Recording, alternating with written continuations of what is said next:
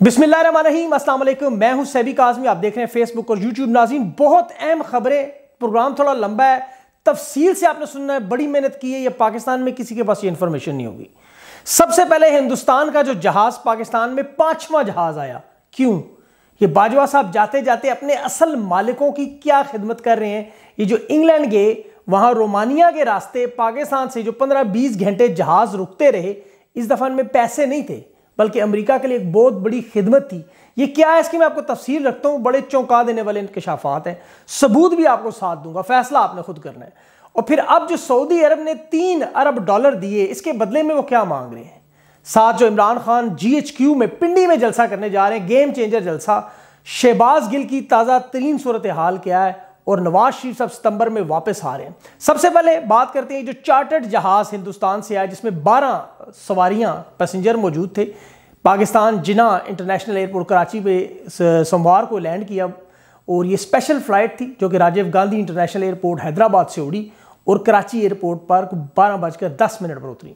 अब सवाल बहुत सारे रहे पहले तो बारह लोग कौन थे? खसूसी ये फ़्लाइट चार्टर्ड जहाज़ था, ये आम जहाज़ नहीं था, कैसे आया? और ये पहली दफ़ा नहीं आया पाँच जहाज़ कुछ हफ्तों में आए। एक ऐसा मुल्क जिनके साथ आपकी कोई डील नहीं फजाई, कोई नो फ्लाई जोन एग्रीमेंट नहीं है कि जहाँ पे आपके वजी अजम उस वक्त नवाज़ शरीफ जब उनकी फ़जा से गुजरते थे तो हाथ से ख़त लिख कर शुक्रिया अदा करते थे कि आप हमें गुजरने दे रहे हैं। अचानक जहाज़ आना शुरू होते हैं। तो ये मामला क्या है? क्यों? पाकिस्तान के जहाज़ वहाँ क्यों नहीं जाते? और ये जो बाजवा साहब ने सर्विस सब जो इंग्लैंड के लिए कर रहे हैं उसके लिए, अमरीका के लिए कर रहे हैं, इसके साथ साथ इसमें बड़ी अहम इंफॉर्मेशन है। ये बरतानिया में बाजवा साहब इंतहाई अहम दिन पाकिस्तान का चौदह अगस्त, और वहाँ किससे मिले? जनरल बाजवा पाकिस्तान की तारीख के पहले आर्मी चीफ हैं, जिसने चौदह अगस्त को किसी भी सरकारी तकरीब में शिरकत नहीं की। इससे पहले ऐसा कभी भी नहीं हो पाकिस्तान के अंदर तकरीब हो और आर्मी चीफ वहाँ पर मौजूद ना हो, क्योंकि इनकी बड़ी अहम मुलाकात थी।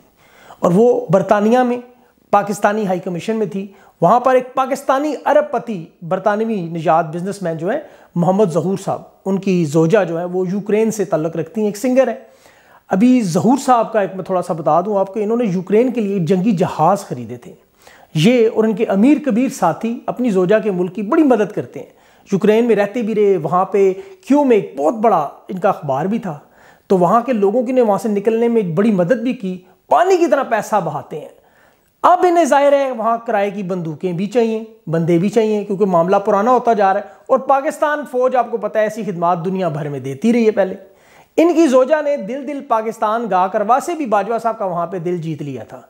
बाजवा साहब का बस नहीं चल रहा था, वरना उठ के दो चार ठुमके भी लगाते थे, जिस तरह वो देख रहे होंगे आप वीडियो। अब इन साहब से ही मीटिंग एक ऐसे वक्त में, जब बाजवा साहब को बरतानिया एक बहुत बड़ा एजाज देता है सौंडर परेड पर जो मेहमान खसूसी बनाया, उनके हाथ से गोरे फौजियों को एजाजी शमशीर दी जा रही है। भाई, आपने कौन सी जंग जीती है? बकोल एयाज सादे के? आपकी तो टांगे कांपती थी और माथे पर पसीना आता था। एयाज सादे के बकोल? मेरे नहीं। नवाज़ शरीफ साहब के बकोल आप हुकूमतें बदलने के माहिर हैं। कनाडा के वज़ीर के बकोल ये दो दफ़ा रजीम ऑपरेशन में शामिल हो चुके हैं। सिवाय चंद सहाफ़ियों की मारपीट, शहबाज गिल को नंगा करके मारना या पच्चीस मई या तस्बी शलवार की मीज इस्लामी आयात पढ़ने वाले एक वजी अजम की जमहूरी हुकूमत गिरा कर इनके दामन में क्या है ऐसा? ऐसे में असली मालकों को खुश करना यह बड़ा याद रखें, एक दिवालिया होने वाला मुल्क, हमने यूक्रेन को दो दफ़ा इमदाद भेजी है, और वह भी बाजवा साहब की मेहरबानी है। इमरान खान रूस के साथ खड़ा हो गया था जाके, चीन के साथ खड़ा हो गया था। इन्होंने तो कह दिया था कि हथियार सिर्फ़ अमरीका के अच्छे हैं, चीन के नहीं। ये हमारे स्ट्रेटेजिक पार्टनर भी हैं। अब याद रखें, ये अरबपति लोगों का एक बड़ा क्लब है, जिसे बिलियनर क्लब्स कहा करते ये जहूर साहब उसके ज़ाहिर है कि अहम रुकन। बिलियनर जो हुए। बाजवा साहब की वहाँ पर एक दफ़ा एंट्री होगी तो फिर दुनिया के एक बड़े एटमी मुल्क का एक ताकतवर चीफ तो फिर मुझे ही मुझे अच्छा मैं ये सब कुछ हवा में नहीं कह रहा, मैं आपको सबूत इसका देता हूँ। जो इनकी मिसेज हैं, यूक्रेन से हैं, इन्होंने स्पेशल दिल दिल पाकिस्तान सीखा और फिर बड़ा। बाजवा साहब बड़ी तालियाँ बजाते रहे, खुश होते रहे। और ये सारा जो था यूक्रेन की मदद करना। अखलाकी ज़रूर मदद करें।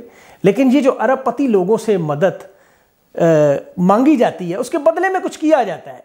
इस वक्त ये दिखाना चाह रहे हैं देखें हम भूखे भी रह रहे हैं लेकिन हम यूक्रेन की मदद कर रहे हैं। और रूस और चीन के साथ हमारा कोई मामला नहीं है। इनका ये जो पैगाम था बड़ा साफ़ था। और ये आपको पता है बैकडोर डिप्लोमेसी भी होती है। ये एक पार्ट है जो बिलियन क्लब के लोग आपस में करते हैं वहाँ बड़े बड़े अहम लोग आते हैं अमेरिका समेत। डिप्लोमेट्स होते हैं सेनेटर्स होते हैं इवन मिनिस्टर्स प्राइम मिनिस्टर्स उनके साथ हम मिलते हैं, फिर वो सॉफ्ट कॉर्नर आपके लिए बनता है। आप ये तस्वीर देखें, इसके अलावा देखें यूके की रॉयल एयरफोर्स ने जो अभी एयर ब्रिगेड ब्रिज सॉरी जो रोमानिया और पाकिस्तान के दरमियान बनाया है एयर ब्रिज उसका मकसद क्या है? पहले कभी नहीं बना, ये अचानक क्यों शुरू हुआ? है रोमानिया का जो लॉजिस्टिक्स है वाइटल लॉजिस्टिक रोल है, इस पूरे मिलिट्री सिचुएशन में जो कि मशरकी यूरोप में जाता है, ये याद रखिएगा। अब यहाँ पर हाई लेवल की जो आपको पता है एयर ब्रिज बनाना और उसको इतना खुफिया रखना, ये मिलिट्री के इक्विपमेंट्स जो ट्रांसफ़र होते हैं। और ये भी कौन सा मिलिट्री कुछ ऐसे भी जो आपको पता है हमारे पड़ोस में अफ़गानिस्तान में रह गए हैं बहुत सारे। एक ट्रिलियन का माल था वहाँ। अब वो भी निकल के जाने हैं वहाँ पे, वो वहाँ जंग तवील होती जा रही है तो माल चाहिए, पैसा चाहिए। तो ये सारा कुछ आप देख सकते हैं। बाकी कुछ चीज़ें मैं अपने पेज पर वेबसाइट पर लगाऊँगा, वहाँ से आप ज़रूर उनको देखिएगा। क्योंकि अमेरिका एक तरफ़ देखें, अरब पतियों पर पाबंदियाँ लगा रहे हैं, जो रूस के साथ काम कर रहे हैं बिज़नेस कर रहे हैं। जैसे मोहम्मद बिन सलमान, जो कि सऊदिया डिफेक्टो हुक्मरान है, उससे भी तो फिर अब वो अचानक हमें पैसे दे देते हैं। ये पैसे वैसे नहीं मिलते सऊदी अरब से। देखें, आप कुछ, उसके बदले में कुछ करना पड़ता है। और ये पैसे फिर मुल्क से निकलते भी इतने आराम से नहीं है। अमेरिका की, सोवियत यूनियन के साथ जब लड़ाई थी, उसमें डॉलरों के कंटेनर हमें मिले, हमें से मुराद जनरेनों को। और वो सारे दोबारा अमेरिका चले गए वहाँ उनके बिज़नेस पे, ज़मीन खरीदने पे प्लॉट बनाने पे। अब सऊदी अरब जो दे रहा है तीन अरब, ये भी आप देखेंगे आईएमएफ को दिखाने के बाद बाकी इसमें से गायब हो जाएँगे। क्योंकि मनी लॉन्ड्रिंग गैंग है शहबाज शरीफ साहब, ये सारे एक्सपर्ट है इसके। इनके अपने ऊपर सोलह अरब का, आपको पता है टीटीओ का और ये नैब के जो केसेस चलते रहे, इसी तरह बने सऊदी अरब की जो पैसे हैं, वो पहले से चार्टर्ड जहाज़ों में बेल्जियम में, कि इधर उधर निकलने हैं, कुछ अरब ममालिक में, कुछ अमरीका में। सऊदी अरब ये तीन अरब स्टेट बैंक को आईएमएफ को दिखाने के लिए पाकिस्तान को दिए हैं। ये भी एक बहुत बड़ी मजबूरी है, क्योंकि इनकी एक तो ज़ाहिर तल्लुकात जो बनाया जाए और उन्होंने हालाँकि रियाज ने सऊदी अरब में स्पेशल एसडीआर करके ये फंड दिया है। सवाल ये पैदा होता है कि ये देने का मकसद क्या है? पहले बाजवा साहब को मेडल दिया गया, फिर नवाज़ शरीफ साहब, शहबाज शरीफ का खसूसी मोहब्बत, फिर इनकी शाही हुकूमत के लिए मोहब्बत और फिर अब देखें कि सऊदी अरब, जहाँ जो बाइडन के साथ अभी मोहम्मद बिन सलमान की मुलाकात हुई, आप देख लें, बड़ा कोल्ड शोल्डर दिया गया। मतलब किसी तरह की बात आगे चली नहीं है। और एक आपको पता है कि बड़ा स्कैंडल जो अभी सामने सऊदी कंपनियों का आया, जिसमें मोहम्मद बिन सलमान के 16 फ़ीसद शेयर है कि वो रूस में काम कर रहे थे, वो भी फरवरी और मार्च में। अब अमेरिका पाबंदियाँ लगा रहा है रूसी इन्वेस्टमेंट पे, और ये वहाँ पे इनके एसेट वगैरह रोकना चाह रहे हैं। मोहम्मद बिन सलमान रूस के कैंप में घुसना चाहता है, अमेरिका को छोड़ना चाहता है। और ये जब तक मामला इनके सीधे नहीं होंगे, उस वक्त तक उनके लिए हमेशा ख़तरा है। दूसरा, इनके लिए ईरान और अरब स्प्रिंग तो आपको पता है हमेशा से खतरा है। सऊदी इकॉनमी बड़ी ज़बरदस्त जा रही है, सो बेहतरीन परफॉर्म कर रही है। लेकिन अभी भी वहाँ पे भी कुछ बेरोज़गारी और गुर्बत वाले ऐसे इलाके हैं, जहाँ से इन्हें ख़तरा अरब स्प्रिंग उठ सकती है। पाकिस्तान बेहतरीन उनको सिक्योरिटी दे सकता है, ईरान और यमन के मामले पर भी शाही ख़ानदान के लिए आपको पता है। वैसे ही हमारे जनरल राहिल शरीफ साहब तो वैसे ही एम के, मोहम्मद सलमान के ज़ाती बॉडी गार्ड है। बाजवा साहब अब वो पोजीशन लेने के लिए भी तैयार है। इमरान खान का फोकस था वो तुर्की, मलेशिया, चीन और रूस की तरफ़। जबकि ये इंपोर्टेड हुकूमत और न्यूट्रल का फोकस अमरीका, मगरब और अरब दुनिया। ये बड़ी सीधी सी अब आपको मैं बता रहा हूँ तफसील। इमरान खान दोबारा इसीलिए सड़कों पर आ गए हैं। बजाय है कि वो क्यों निकाला का राग शुरू करें, अवामी रबते का मरहला शुरू करने जा रहे हैं, ताकि लोगों को बताएँ। उन्नीस अगस्त कराची, बीस हैदराबाद और इक्कीस को जो पिंडी में जलसा है, बड़ा अहम जलसा है। आप इस ऑपरेशन रजीम चेंज को ईजी ना लें। जिन्होंने शुरू किया है, वो किसी सूरत पर पीछे हटने को तैयार नहीं है। ये पिंडी का जो जलसा है, इमरान खान अपनी पूरी ताकत वहाँ पर जनरल हेडक्वार्टर को दिखाना चाहते हैं। और मेरी अल्फाज आप याद रखें, ये जलसा गेम चेंजर होगा। क्योंकि यहाँ पर अगर कोई मस्ती होती है तो आपको पता है वो प्लान तो कर रहे हैं कि वो अपनी उनकी जो नीम सियासी नीम मजहबी जमात है फैज़ाबाद में जिसको पैसे दिए गए थे, उन्हें खड़ा करें। तो ये अगले चंद दिन बड़े अहम हैं। बहुत सारे सवाल आपको पता है उठने शुरू हो गए। शहबाज गुल पर तशद कौन करवा रहा है इतना? ये जो ड्राइवर इजहार है, उसकी बीवी बच्चों पर किसने दबाव डाल के उठवाया? उसकी बीवी का हाथ तक पकड़ने की इन जालमों ने कोशिश की। धमकी तो चले अपनी जगह। ये मोबाइल फ़ोन हासिल करने की सरतोड़ सरतोड़ कोशिशें कौन कर रहा है? ये इमरान खान की वो जो रजीम चेंज की साजिश मतलब जो वीडियो है, ये वो ढूंढ रहे हैं। ये वो वीडियो चाहिए ने किसे चाहिए? किस पे ये खौफ तारी है? शहबाज गिल बच्चों का बाप नंगा करके इसको मार रहे हैं। मतलब दुनिया की तारीख में ये बदतरीन तशद तहरीक इंसाफ के साथ सरेआम ज्यादती हो रही है। और ये जो शहबाज गिल के साथ जुल्म हो रहा है, ऐसा दहशत गर्दों के साथ भी नहीं होता। लेकिन उसे सलाम आप पेश करें, बंदा अकेला खड़ा है, बर्दाश्त कर रहा है, और एक लफ्ज़ अभी तक उसने इमरान खान के खिलाफ इनको नहीं दिया, ये चाहते हैं बोले, वादा माफ़ गुआ बनाए। अब इसमें जो सबसे अहम चीज़ है कि ये इमरान खान का right hand Shahbaz Sharif chief of staff अगर उसके साथ ये हो रहा है तो इमरान खान के सबर और इसके शहबाज के सबर को तो आप सलाम ज़रूर करें। लेकिन देखें, एक आम ओवरसीज़ पाकिस्तानी है। इसके पास कोई अरबों रुपया नहीं, इसका कोई ख़ानदान बड़ा ऐसा नहीं जिसके पीछे खड़ा हो, कोई बड़ा बाप हो। ये सिर्फ़ एक आम आदमी जो सच बोलता है, ये उसका इंजाम होता है। इमरान खान ने जो बातें की, सीधी सीधी, इसीलिए लो इल्ज़ाम लगा रहे थे शहबाज गिल। इमरान खान ने यही कहा कि फ़ौज मुखालिफ बात मैं क्यों शहबाज गिल से कराऊँ? मैं चाहूँ तो खुद भी ये बात कर सकता हूँ। अब जो शहबाज गिल को मारने का इस तरह नंगा करके जो, जुल्म हो रहा है उस पर इमरान खान ने शीरी मजारी को कहा है कि आप इंटरनेशनल फोरम पर यह मामला उठाएँ। पूरी पार्टी इसकी मजम्मत करती है, लेकिन अभी तक अब लोग मिलने से ग्रेज कर रहे हैं उसकी वजह है बहुत बड़ी। देखिए, इसी नाइंसाफ़ी की हम बार बार बात करते रहेंगे, जब तक शहबाज गिल निकलता नहीं। और मेरी याद रखे, उसके साथ बनती नहीं है। मेरा उसका कोई तलक नहीं। शहबाज गुल पर जो तशद हो रहा है, ये हजम नहीं होता, क्योंकि अडयाला जेल जो है, वो महकमा जेल खाना जात पंजाब के मातहत है। और पंजाब में इस वक्त तकरीबन तरीक इंसाफ की हुकूमत है। अब इसका अगर आप सारा जो मैंने आपको बताया, इसका मुशाह करें, आप महसूस खुद करेंगे कि तहरीक इंसाफ को और को इमरान खान को फौज के मुकाबले में खड़ा करने की कोशिश की जा रही है। और ये इस्टेब्लिशमेंट के अंदर ही चंद ताकतवर लोग हैं। वो ये करके इमरान खान की वापसी का रास्ता रोकना चाहते हैं। इमरान खान जो है रियल इश्यूज़ है, देखें, वो उनको पता है सारे। स्टैब्लिशमेंट से तो दो इशू थे ना मेन उनके से। एक D G I S I की तैनाती जनरल फैज का मामला, और दूसरा उस्मान बुजदार था। उस बुजदार को हटाने का कहते थे हटाए अब बुजदार तो नहीं है, ना ही वो D G I S I है। तो फिर मामला कहाँ आके रुक गया? असल गेम मैंने जो आपको अभी शुरू में जो खबर दी, बाजवा साहब की बिलियनर क्लब की मुलाकातें, ये मामला है असल में। बाजवा साहब ने इज़्ज़त का और जिद का मसला तो बनाया हुआ है, पीछे नहीं हट रहे, लेकिन सवाल इसीलिए बार बार उठ रहे हैं। उनके जवाब आने चाहिए बड़े सादे सादे कि नहीं है हम उसमें शामिल। लेकिन ऐसा नहीं हुआ। वो जो साइफर में उनको बरह रास्त आपको पता है, किसको मुखातिब किया गया था? सिंध हाउस फिर लोटो से किसने भरा? प्रिजन वैन जो जो खड़ी की गई इलेक्शन में धांधली आपके सामने जो सारा मामला हुआ है मीडिया को अब किस तरह बंद क्यों किया जा रहा है?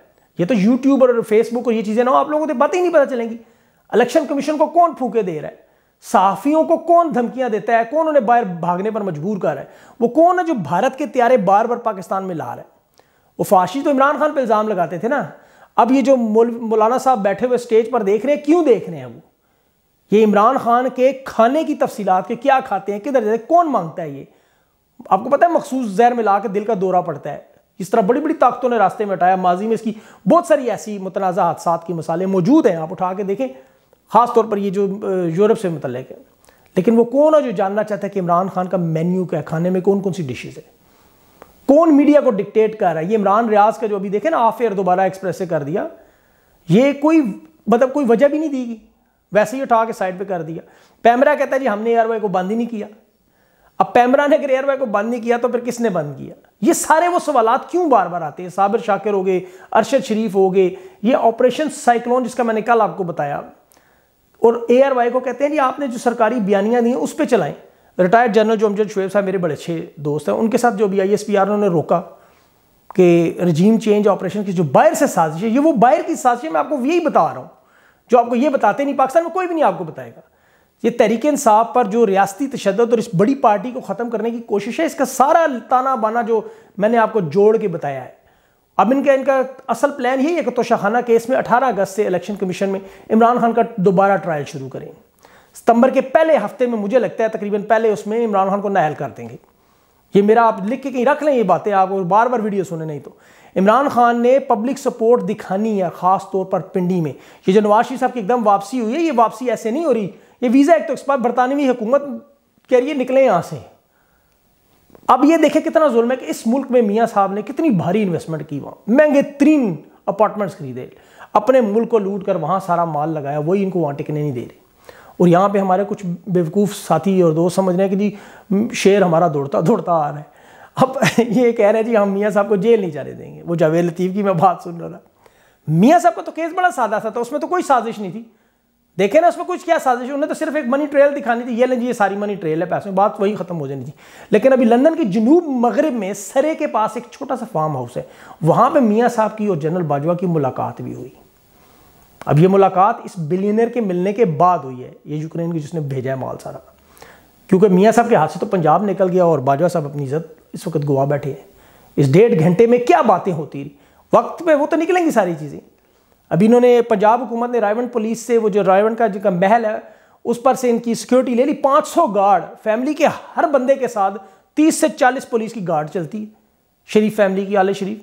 परवेज अलाई ने कुछ थोड़ा बहुत चले काम किया इस पर कुछ थोड़ा बहुत, लेकिन उसे ये याद रखना होगा पाकिस्तान फौज को अब पंजाब पुलिस ना बनाई। फौज ऐसी मज़बूत हो कि बॉर्डर पर दुश्मन का मुकाबला करे। इतनी मज़बूत ना हो कि आपके जजेस, आपके मीडिया, आपके सियासतदानों को मिला के सारा पूरा रजीम ही चेंज करा दे और जाके इन बिलियनर बिज़नेस मैनों के आगे उनके साथ काम करें। क्योंकि दुनिया में कहीं भी ऐसा नहीं होता। को दुनिया के किसी मुल्क के, आप किसी एक आर्मी चीफ का नाम बता दें कनाडा का पता, किसी का भी, नहीं पता होगा। अब जो पंजाब हुकूमत सब इंस्पेक्टर वो आबद जट है, जो 25 मई को एक पुरमन खातून पे, वो दिखा रहा था उसको, मैं पस्तूल अपना उसको पुलिस ने जो है वो डिसमिस कर दी है, पंजाब हुकूमत ने। इसे एक प्रोफेशनल इदारा बनाना बड़ा ज़रूरी है। लेकिन असल मामला जो मैंने आपको शुरू में तफसील रखी है, मेरे साथ कुछ तस्वीरें भी चल रही होंगी, और ये कमर्शियल फ़्लाइट डाटा सारा अवेलेबल है। ये उस पर से रिसर्च मिलती है, आप पढ़ें, आप ढूंढें, आप लगे रहें। पूरा पूरा तीन तीन चार चार पाँच पाँच घंटे लगा के ये खबरें ढूंढ के तब ये तजिए बनते हैं। तो आपकी बड़ी मेहरबानी, आप मेरा पेज फॉलो करते हैं और यूट्यूब को बेल बेल का बटन दबा दें ज़रूर ताकि अगली जो मैंने कल वीडियो करनी है, इससे रिलेटेड वो आप तक पहुँच जाए। क्योंकि बहुत सारे लोग मुझे अक्सर कहते हैं कि आपकी वीडियो नज़र नहीं आती। तो फेसबुक पे आप फॉलो का बटन दबाएँ और यूट्यूब पे बेल का दबाएँ, तब वो आपको दोनों चीज़ें मिलेंगी। अपना खास ख्याल रखें। अगली वीडियो तक लीजिए अल्लाह हाफिज़।